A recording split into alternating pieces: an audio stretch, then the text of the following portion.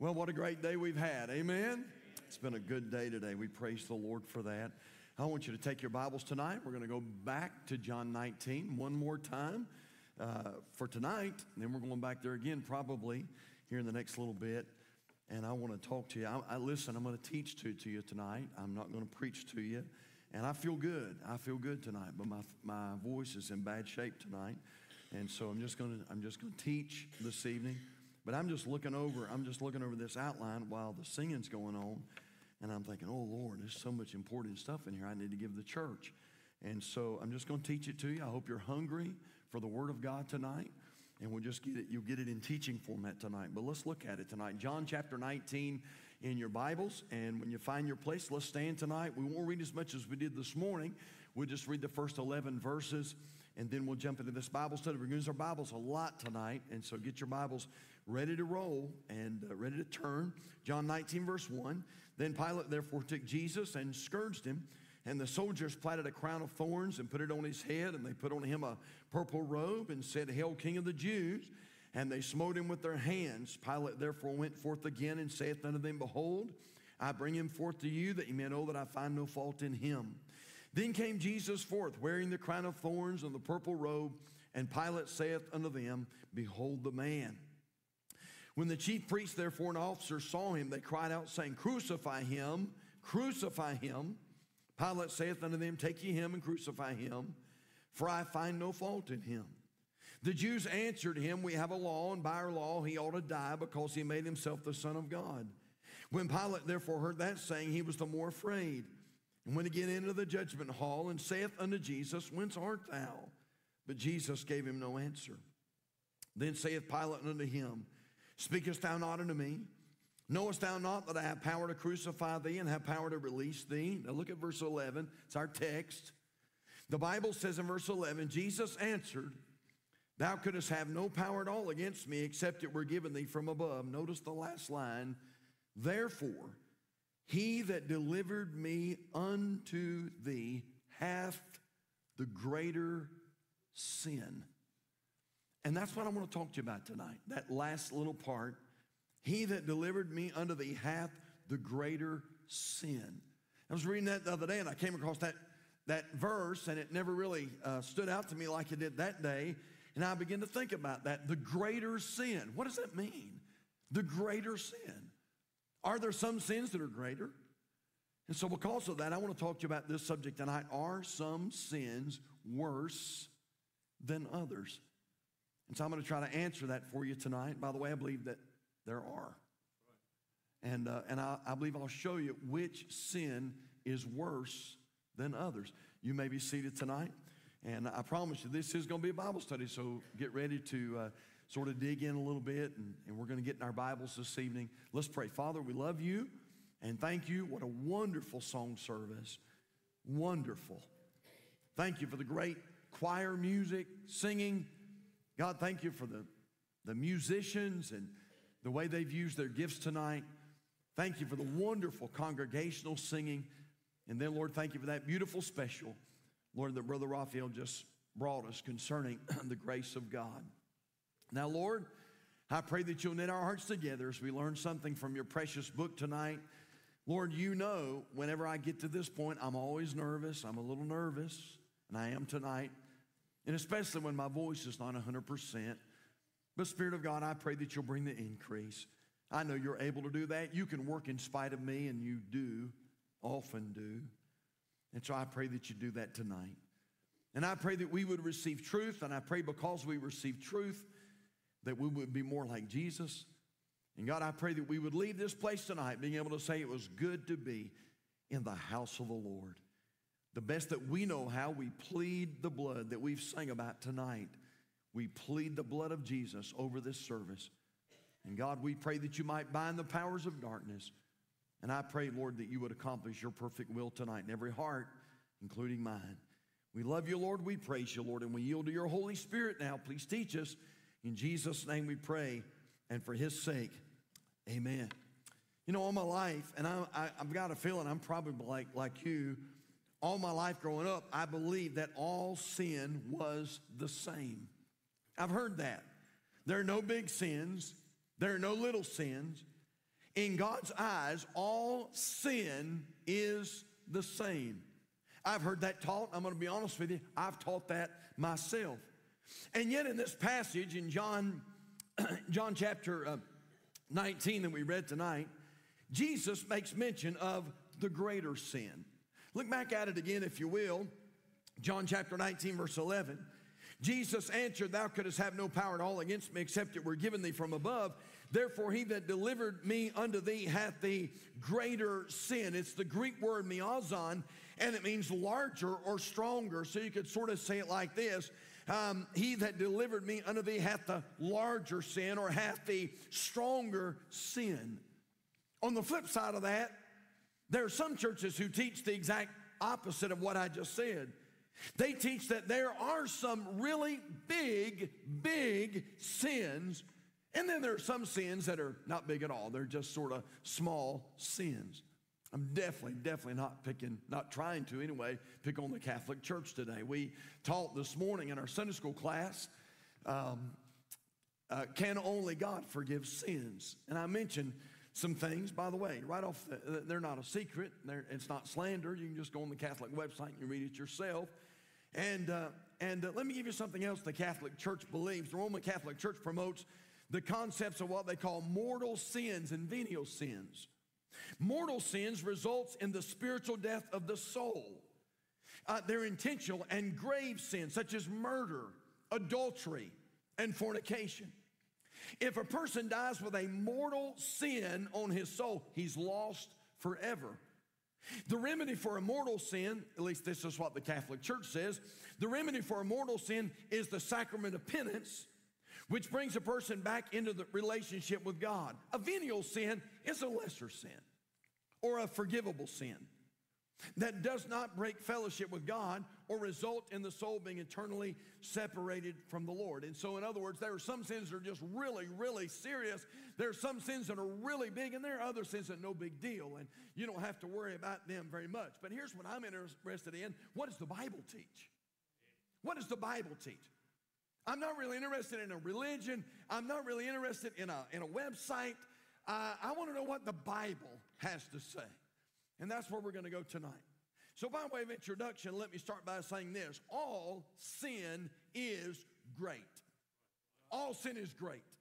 Uh, every sin is great. Every sin is bad. Every sin is large. All sin is great. You say, well, uh, Pastor, why is that? And this is the reason because every single sin must be paid for. It must be paid for. And so sin is why Jesus chose to offer his life a ransom. Thank you, brother. I sure appreciate that. Now, again, I want you to understand something. Murder, Jesus had to come and die for the murderer. But if you've never murdered and you just told a white lie, Jesus still had to come and die for that white lie. Every single sin must be paid for. Romans chapter 6, verse 23 For the wages of sin is death, but the gift of God is eternal life through Jesus Christ our Lord. Romans chapter 5, verse 12. Wherefore, as by one man sin entered into the world, and death by sin. And so death passed upon all men, for that all have sinned. Again, let's just get this part straight first that every single sin is great. Now, think about it just a moment. Consider Eve's sins. Consider Eve's sins. Eve was never unfaithful to Adam. We, we don't have any record of that that she cheated on Adam. By the way, hard to cheat on somebody when there's nobody else to cheat with. Amen? And so uh, we don't have any record that uh, Eve ever committed adultery or anything like that. She wasn't abusive to her children. We have uh, nothing that leads us to believe that. She didn't plunge into a life of drugs and alcohol uh, and addictions. Uh, Eve simply ate a piece of forbidden fruit. That's what she did. She ate a piece of fruit. That was forbidden, but she ate a piece of forbidden fruit. Nobody else went, that didn't seem all that bad. And yet that very sin plunged mankind into a state of sinfulness and brought a curse. And so all sin is great.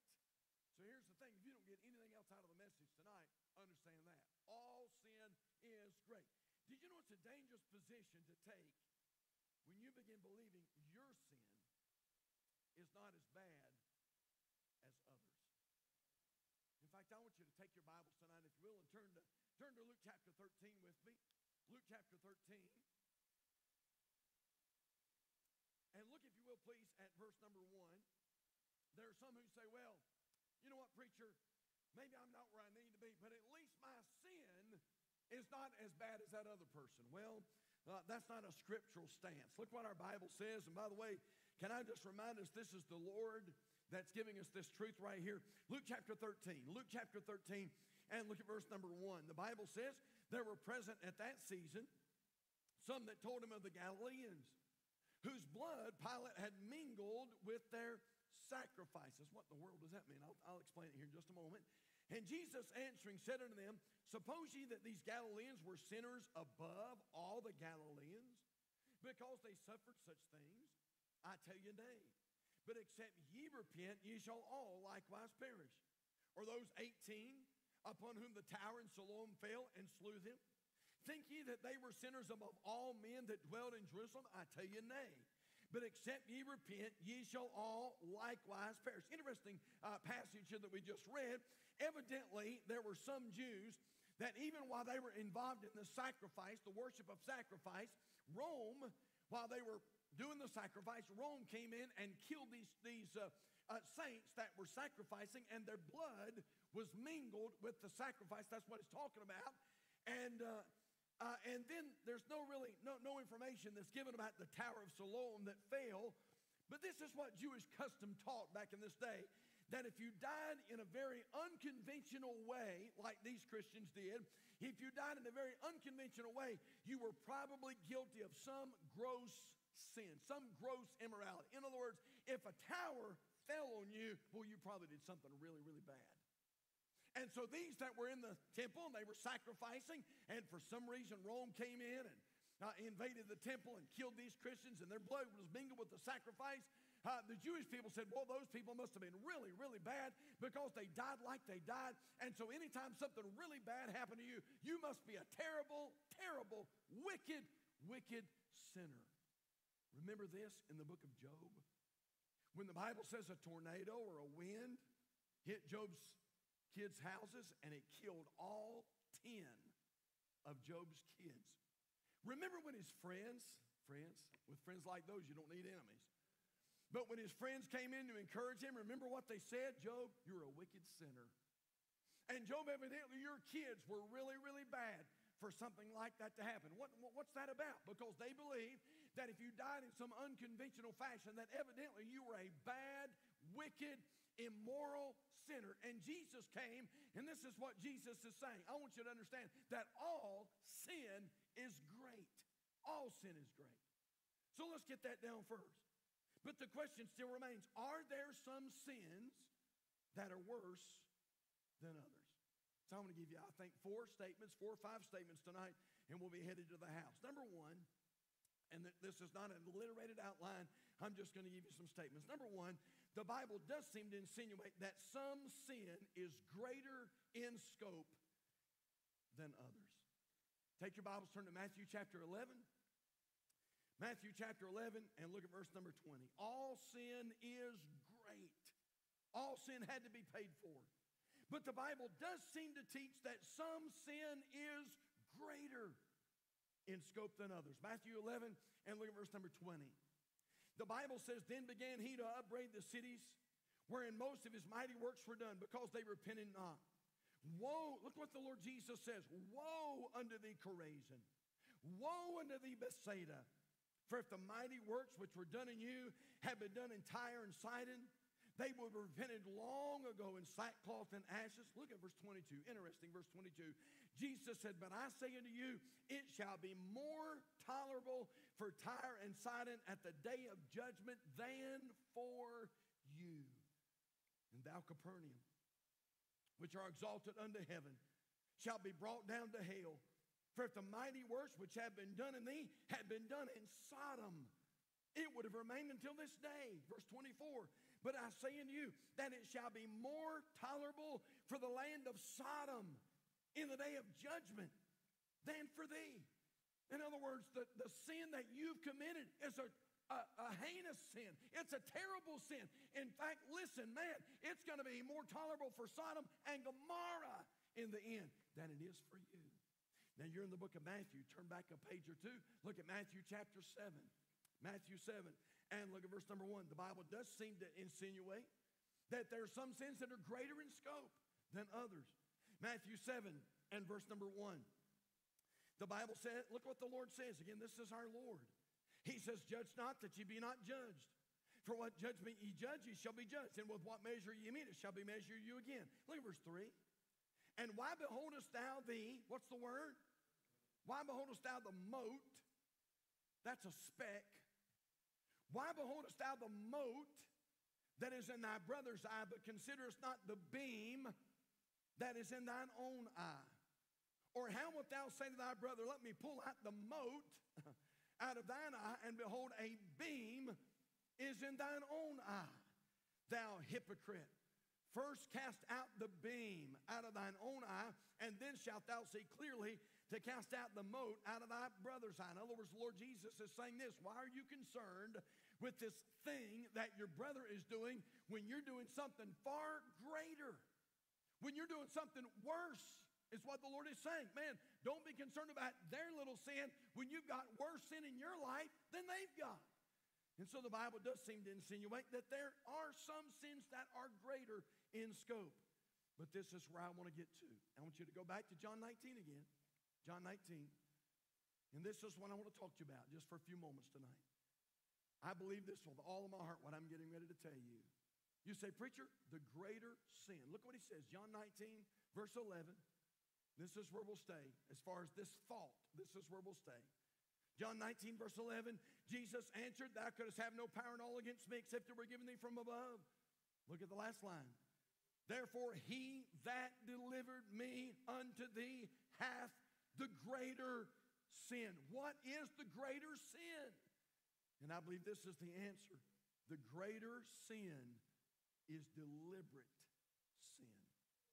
The greater sin is deliberate sin. Now, uh, listen, listen to that statement again. Therefore, he that delivered me unto thee, this is Jesus talking to Pilate. Pilate, the man that delivered me unto thee, hath the greater sin. That statement almost has to be a reference either to Caiaphas or Judas. So, so think about this. Think about this. Pilate was definitely sinful, but Jesus insinuated there was a greater sin. Now, Pilate was a Roman. Pilate had not been exposed to the teachings in the synagogue. Pilate was more than likely polytheistic in his, in his belief. He probably thought there were many gods, many gods. He had not been in close contact with the Savior. And so, yes, was Pilate wrong for crucifying the Lord Jesus? Absolutely, he was wrong. He executed an innocent man. And yet, Pilate, the Lord Jesus Christ insinuated, Pilate, what you're doing is wrong but there's somebody that's done more wrong than you. Again, this had to be almost a reference to Judas. What are you talking about, preacher? Think with me, and, I, and we won't be long. What Judas did was willful and absolutely deliberate. You understand? Pilate, although Pilate did wrong, Pilate was a pagan. You understand that? Pilate was a heathen. Pilate was a man that grew up believing in, in Zeus and Apollos and, uh, and Aphrodite and all these, uh, maybe even thousands and hundreds of gods. Uh, and yet Judas was a man that knew better. Judas was a man that walked with Jesus. Judas was a man that witnessed the miracles of Jesus. Judas was a man that heard the teaching of Jesus. Judas was a man that experienced the love and the mercy of Christ. And yet our Bible says that he betrayed Jesus for 30 pieces of silver. It was deliberate sin. And I believe this that deliberate sin is the greatest sin. We know it's wrong, and yet we deliberately commit the sin. It's the greater sin. Now, let me show you a contrast. We're going to use your Bibles tonight. I want you to turn over to uh, 2 Samuel chapter 6. 2 Samuel chapter 6 and look at verse number 2. Deliberate sin. Again, we're going to get we're going to we're going to dig a little further, so hang in there with me. Let me show you a contrast to deliberate sin. 2 Samuel chapter 6, verse 2 talks about a man by the name of Uzzah or Uzzah, however you want to say it, Uzzah. And uh, look at the story, if you will. 2 Samuel chapter 6 and verse 2. The Bible says, And David arose and went with all the people that were with him from Baal of Judah to bring up from this the ark of God, whose name is called by the name of the Lord of hosts, that dwelleth between the cherubims. And they set the ark of God upon a new cart and brought it out of the house of Abinadab that was in Gibeah. And Uzzah and Ahio, the sons of Abinadab, drave the new cart. And they brought it out of the house of Abinadab, which was at Gibeah, accompanying the ark of God. And Ahio went before the ark. And David and all the house of Israel played before the Lord on all manner of instruments made of fir wood, even on harps and on psalteries and on timbrels and on cornets and on cymbals. And when they came to Nachon's threshing floor, watch closely, the Bible says Uzzah put forth his hand to the ark of God and took hold of it, for the oxen shook it. And the anger of the Lord was kindled against Uzzah, and God smote him there for his, what's the word? For his error. And there he died by the ark of God. Now, let me tell you what happened or what's going on here. You weren't allowed to touch the Ark of the Covenant. God purposely put poles. He put rings on the corners, poles through those rings, and the priests were to carry those, uh, the Ark of the Covenant on their shoulders. They were to, to bear it, not put it on an ark, not put it on a cart. And uh, David decided, you know what, we're going to do things a worldly way, like the uh, Philistines did. And they put the Ark of the Covenant on a cart. Now they put it on a new cart, but they put it on a cart, and it's being pulled by oxen. And uh, they're on their way to put it back where it's supposed to go, and yet they hit a ditch or a pothole. And the Bible says the oxen shook it, and the Ark of the Covenant sort of shifted on the cart. And Uzzah uh, just doing probably what you and I would have done. Uh, Uzzah saw the Ark of the Covenant sort of move, and he not even thinking about it, he reached up to steady the Ark, and God killed him instantaneously. You know why? Because you don't touch the Ark. It's a symbol of the presence of God. And God killed him. But isn't it interesting that the Bible says that God smote him for his error? In fact, the Holy Spirit doesn't even reference what Uzzah did or Uzzah did as sin, but rather an error. Now, Uzzah's actions are a reminder that all sin comes with a penalty. All sin comes with a penalty. But Uzzah's sin was not a deliberate sin. You where I'm going with that? Uzzah didn't get up that day and say, you know what, I'm going to touch the Ark of the Covenant. I don't believe that happened at all. I believe probably Uzzah was a good man. I believe he was probably an honorable man. And uh, he, he didn't mean to. Uh, he just wasn't thinking. And when the Ark of the Covenant shifted, he went to steady it. And when he did, God took his life. And so the greater sin is deliberate sin. Now stay with me. Good teaching or bad, uh, th- th- listen, good preaching, no. But I promise you, I'm going to give you some stuff that's going to help you tonight. The greater sin is deliberate sin. Number three, deliberate sin comes with greater punishment. Deliberate sin comes with greater punishment. All right, take your Bibles and turn to Luke chapter 12 tonight. Luke chapter 12. We're not going to be long. We're going to be brief tonight, but I want you to hang in there with me. Luke chapter 12, look at verse number 47. Wow, this is something. Luke 12, verse 47. If you found your place, say amen. All right, good. You're there. Luke 12, verse 47. And that servant, look at the next line, which knew his Lord's will and prepared not himself, neither did according to his will, shall be beaten with, what's it say? Many stripes. Look at verse 48. But he that knew not and did commit things worthy of stripes shall be beaten with what? With few stripes. For unto whomsoever much is given, of him shall be much required. And to whom men have committed much, of him they will ask the more. Uh, and that servant which knew his Lord's will, he knew his Lord's will, and yet he did the opposite. You know what that is? That's deliberate sin. And the Lord said, when you, when you commit deliberate sin, you know better, you know you shouldn't do it.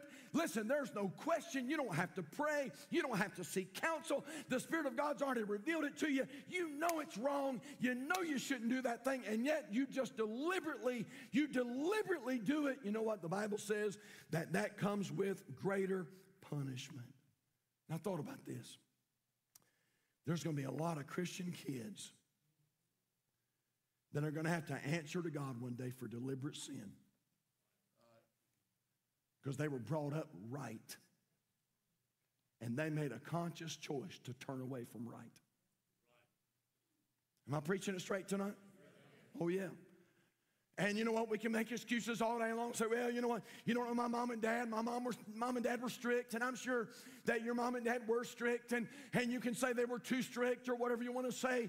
But you know what? I'm just saying there's a lot of lot of kids in America that came up in Christian homes, and mom and dad at least uh, they weren't perfect, weren't perfect in any way, but mom and dad tried to read the Bible, and they tried to take them to church, and they tried to be faithful, and they they they tried to teach them morality, and they tried to show them what was right, and they tried to teach teach them how to be honest and they try to teach them how to be faithful to God. And, uh, uh, and, and, you know what? Here are some kids and they had good parents and those parents taught them how, how to serve the Lord. And now those kids have turned away from the things of the Lord. I'm telling you, brother, one of these days they're going to stand before a holy God and they're going to answer harder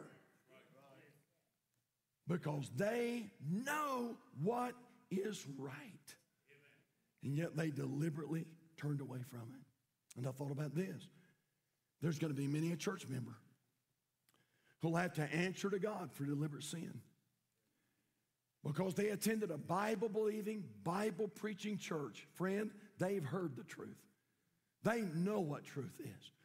Man, they've heard this book preached and taught from cover to cover, and they know what's right. The Spirit of God has spoken to their heart. They know what is right. They know what is true. They know what is real. And yet, many of those church members have turned away from the things of the Lord, and they're walking far from God. And this is all I'm saying. Did you know there's coming a day when those people will answer more because of their deliberate sin than others who don't know? And so the greater sin, I believe, is deliberate sin. Deliberate sin comes with greater punishment. We're almost done. The fiercest judgment, number four, the fiercest judgment belongs to those who have been exposed to truth, but deliberately, deliberately turn away. Now, I'm, I'm almost done. The wheels are almost on the runway.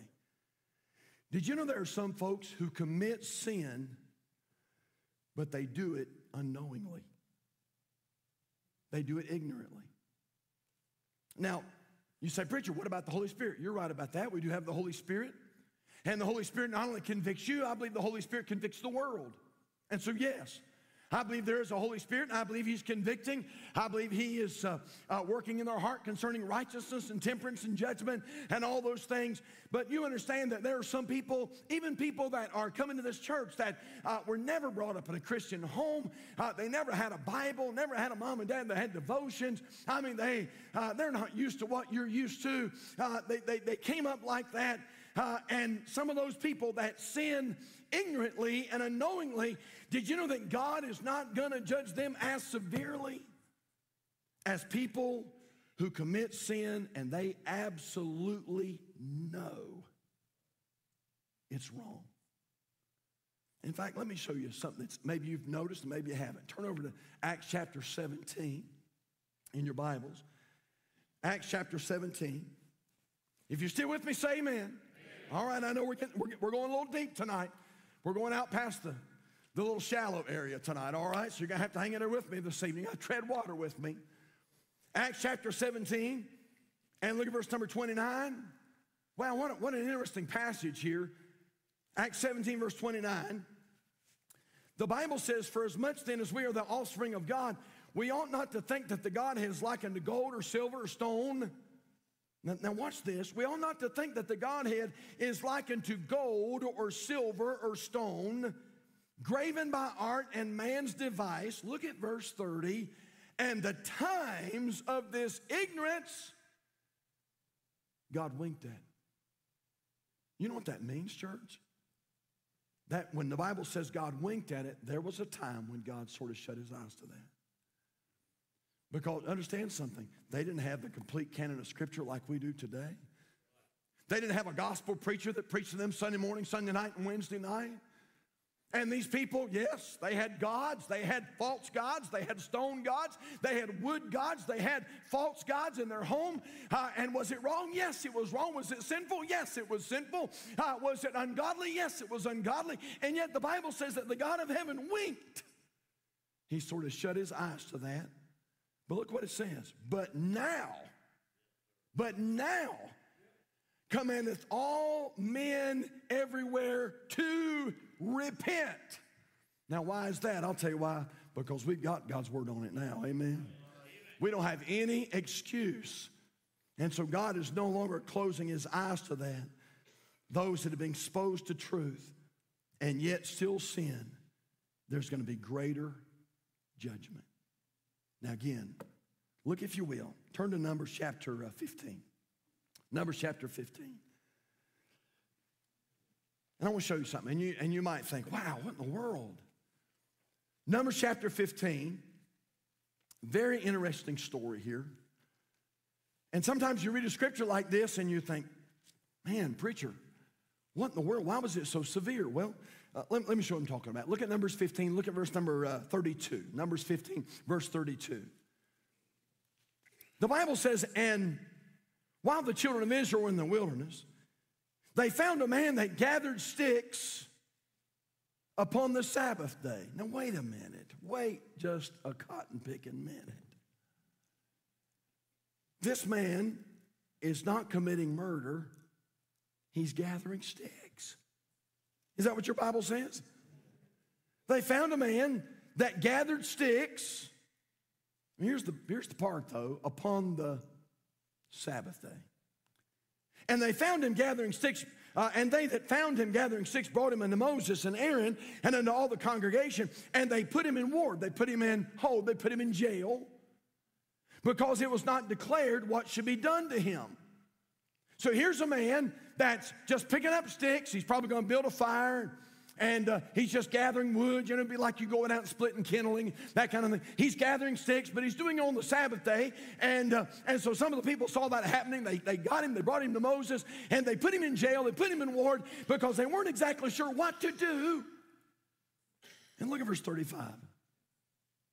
And the Lord said unto Moses, The man shall be surely put to death and all the congregation shall stone him with stones without the camp. Somebody says, wait just a minute. What? The guy's gathering sticks. And, and, and did you notice that it wasn't Moses that came to this conclusion? It wasn't the children of Israel that came to this conclusion. It was God. Amen. And God came to Moses and put him to death. Put him to death. And somebody says, Preacher, what on earth? That doesn't even make sense. It really does make sense. You know why the punishment was so severe? Because it was deliberate sin. It was deliberate. Moses got the children of Israel together and said, This is what God said the Sabbath is holy. It's what God said. The Sabbath is holy. And on the Sabbath, we're not going to do any work. God's going to give us manna. You won't have to go out and collect it. We're going to collect it a day early. And uh, God's going to take care of all of our needs. We're not going to cook. We're not going to travel. Uh, we're going to stay right where we are. We're going to keep the Sabbath holy. And, uh, and He had taught that and taught that and taught that and taught that. And uh, this is what we're going to do. This is what God says. This is what God says to do. And, uh, and sure as He said that, you know what, what's going on? There's a man out that's just disregarding all that. And he's gathering sticks, gathering gathering sticks, gathering sticks. And somebody says, Preacher, what in the world's a big deal about gathering sticks? That's not the problem. The problem is it was absolute deliberate in the face of Almighty God. And God said, Kill him. Because it was absolute deliberate sin.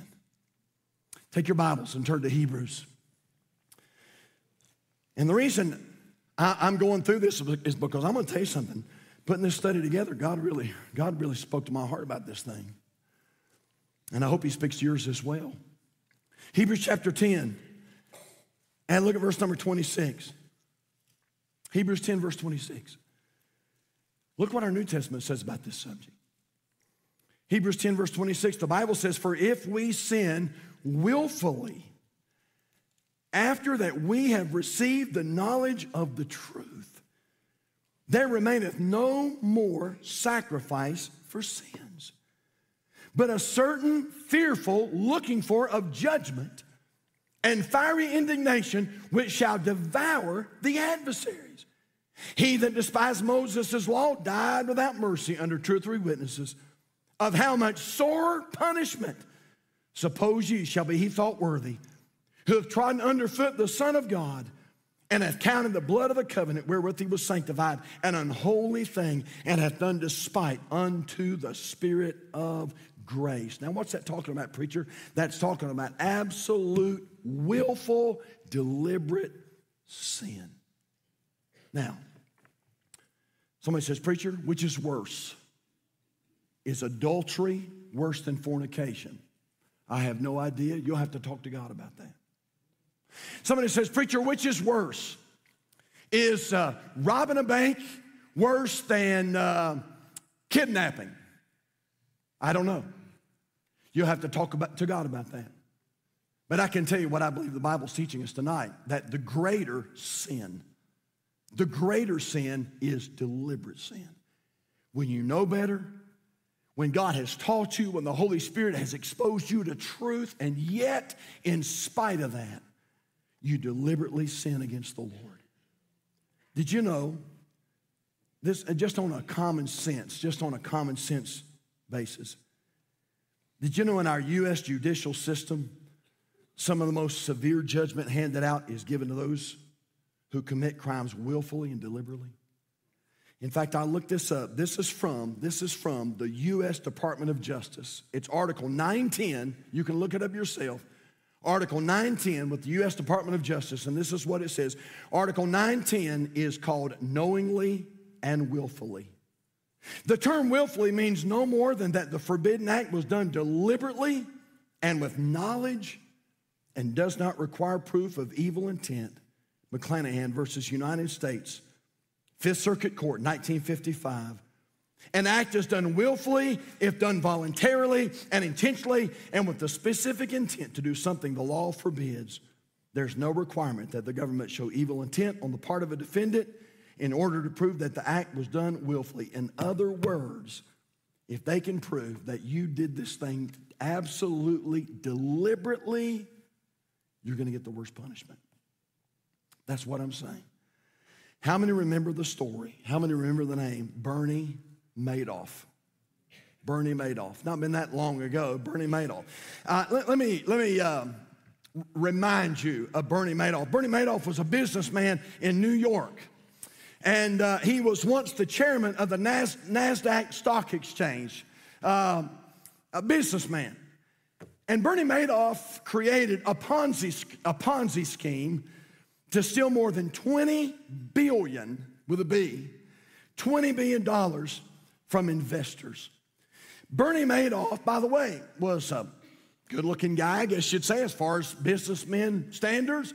His suits were not the kind of suits you wear. I'm sure Bernie Madoff did not get his suits from J.C. Penney or Belk.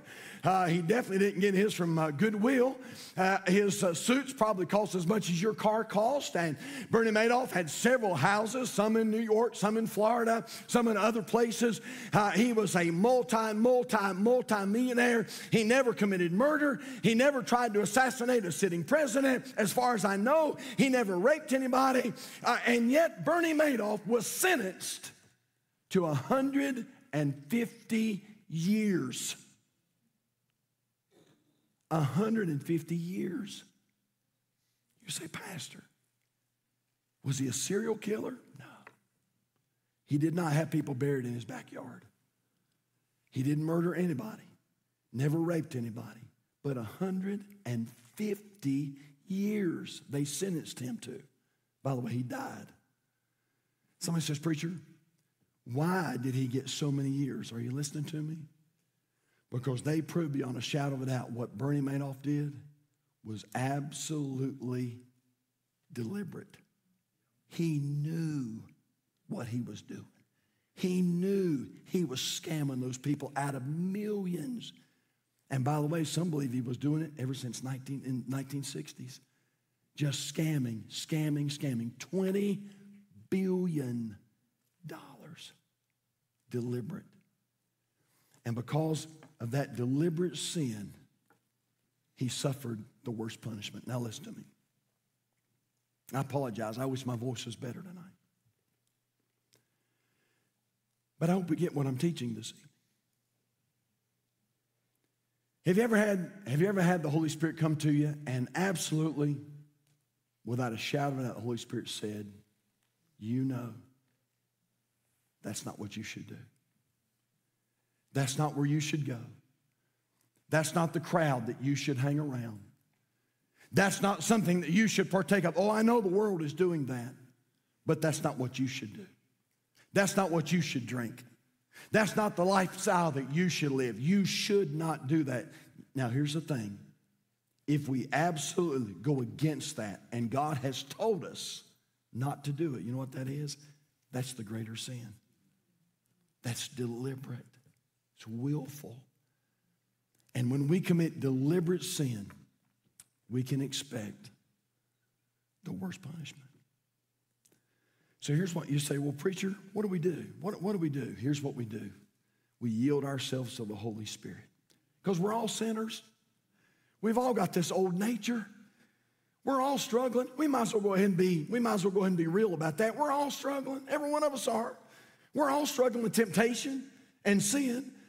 And so somebody said, Preacher, I don't want to be like that. I don't want to, I don't want to commit deliberate sin and have the wrath of God on my life. What do I do? You yield yourself to the Holy Spirit day after day after day after day, uh, and hour after hour after hour, and you constantly pray things like this Lord, give me the mind of Christ, give me the mind of Christ, give me the mind of Christ.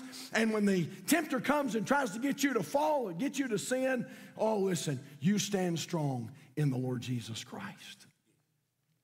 Let's bow our heads tonight. Father, we love you. Oh, Lord, I pray somehow that you'll take this simple, simple message. And God, I pray that you'd challenge some other people like you've challenged me. Lord, you know this week I've had to confess some deliberate sin. Lord, there's been some times when, God, I knew I shouldn't be doing things. And yet I find myself doing that. Lord, that's willful, that's deliberate, that's the greater sin. When I know it's wrong, and yet I do it. God, forgive me. God, forgive me. And God, forgive us. And Father, I pray tonight that you would give us a church full of people that would be yielded to the Holy Spirit. And Lord, I pray that you would help us to be sanctified, separated from the world. And God, help us to be faithful. And Lord, when temptation comes, when temptation comes, God, help us to stand strong. Help us to be faithful. And Lord, help us to do our best to do the will of God. Our heads are bowed, our eyes are closed. It'll be hard to give an invitation after a message like this. But I would just ask you tonight is there any is there anything that the Holy Spirit has pointed to tonight in your heart, your life, deliberate? The Holy Ghost has already came to you and said, "Listen, that's not for you. Don't you be taking part in anything like that." And yet, you found yourself getting wrapped up in that. If that's the case, whether you do it in your seat or you do it at the altar tonight, would you just go to the Lord right now or here in just a moment? And would you say, Lord, forgive me for that deliberate sin? Forgive me, Lord, for committing the greater sin. I know it's not right. I know I ought to quit it. I know I've got to stop it. I know I do. Lord, you've revealed it to me. I've got to stop. I've got to get things right. If that's you tonight, listen, would you do business with the Lord? Let's all stand tonight. Our heads are bowed, our eyes are closed.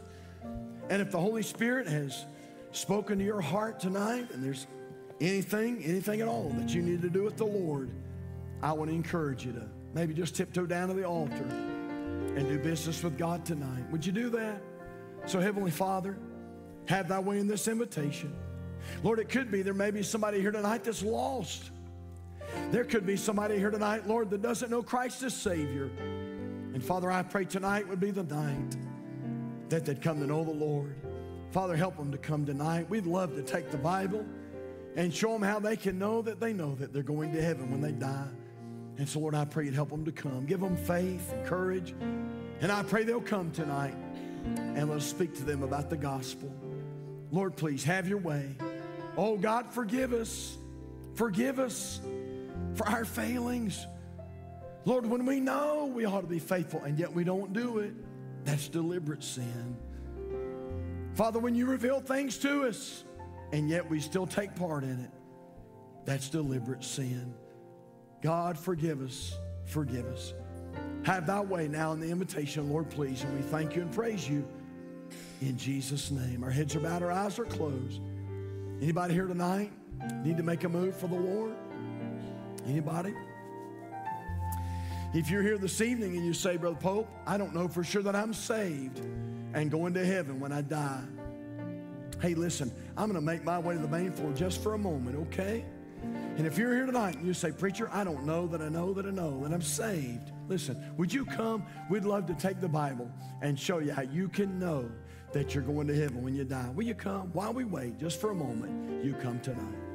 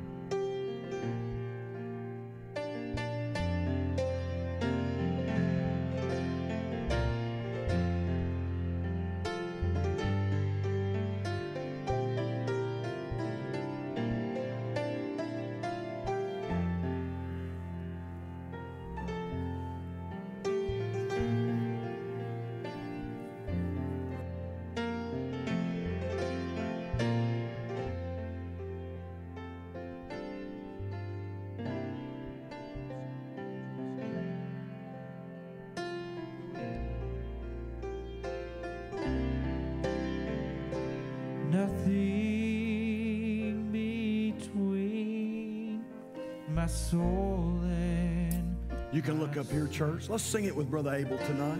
So that his blessed face may be seen, nothing preventing the flow. Oh, wow.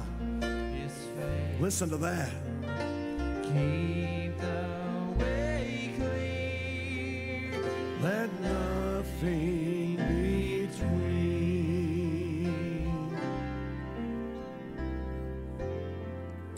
Anybody else need to come tonight before we go? Anybody? All hearts free tonight? Amen. We're gonna we're gonna baptize before we go this evening. And so I think Brother Brandon, I think he's already ready. And so why don't we pray and thank the Lord for the good service today? Father, we love you. What a great day it's been. Lord, it's always a good day, but it's especially a good day when folks are born again. Thank you for saving today.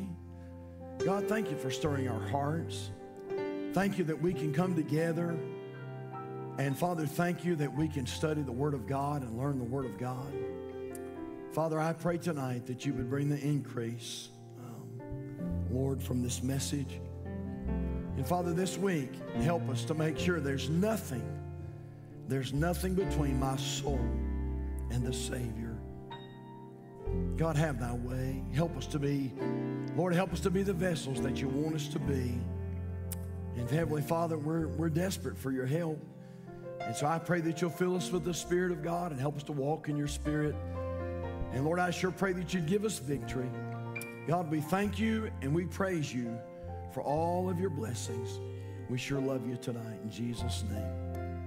All God's people said, Amen. We're going to, uh, you can be seated just for a moment. We're going to baptize and then we're going to pray and have you on your way tonight. Amen. Come on down. You're all right. There you go. Amen. Well, it's good to see the baptism water stirred once again. Amen. Amen. Right here. Many of you know this young lady here, Margie. She's been coming for a, a while now and uh, has been saved and was looking forward to being baptized. Amen. And uh, so we're excited to baptize her tonight. The water's not cold. Amen. It's warm. if you look, watch, she's, she's shivering a little bit. Amen. Well, Margie, have you accepted Jesus as your personal Savior? Amen. Well, upon your public profession of your faith in Him, I baptize you, my sister, in the name of the Father, and the Son, and the Holy Spirit, buried in the likeness of His death, and raised in the likeness of His resurrection. Amen. Amen. Amen. Thank you, Brother Brandon. And the servant said, It is done as thou hast commanded, and yet there is room. Amen. Let's go get somebody else. Amen. By the way, little Tatum was supposed to be baptized tonight as well, and uh, he got sick today. And so, um, anyway, if all goes well, we'll baptize him next week. And so, you pray for uh, pray for Tatum that the Lord would heal him and he'll get to feeling better. And we've missed them today. Well, let's all stand. And uh, don't forget, Barnabas Ministry has a meeting tonight. So if you're part of the Barnabas Ministry, if you'll be sure that you uh, take part in that and have a great week. Let me just give you a little something real quick. Uh, uh, something the Lord's been laying on my heart. Um, one of the things I know, one of the things that we got to do, um, you know, of course, COVID hit, and some of the things that we were doing on a regular basis sort of went out. And one of the things I know that we've got to get started back is our visitation evangelism. And so this coming Wednesday night, Lord willing, we're going to start a series, and I'm going to teach, once again, I'm going to teach on how to win a soul to Christ and uh, how to win a soul to Christ. Some of you have been coming to me. You're saying, Preacher, I've got some people that I'm burdened about. But what do you do? How, how do you do it? How do you go about that? So we're going to start right there at first base, and we're going to work our way through it. And by the time we get through, you'll know how to lead somebody to Jesus. We'll, we'll give you the nuts and bolts. And, and, uh, and so, anyway, Lord willing, we'll start that this coming Wednesday night. And then we'll be talking to you about um, uh, putting our visitation evangelism back into the schedule, and I think that'll be a good thing for our church. And we hope that you'll take advantage of that. All right. We love you. Hope you'll go away blessed tonight. Brother Rodney, come on up if you will, and dismiss us in a word of prayer tonight. Dear Heavenly Father, thank you for this day. Thank you for the honor and privilege that we've had to be in your house and for your precious word that was taught and preached today. And help us to take your word and apply it to our lives and go out and be better Christians for thee. I thank you for our pastor and Miss Tammy and for this church. I pray that you would put a hedge of protection about us. And uh, dear God, I pray for the health and well being of our pastor and Miss Tammy and each one. Uh, be with. Uh, be with each one who is sick and afflicted, dear God. I pray you touch their body and heal them. And, uh, dear God, help us to let our light so shine, dear God, that others may see Christ in our lives. Forgive us where we fail thee. And these blessings we ask in Christ's name. Amen.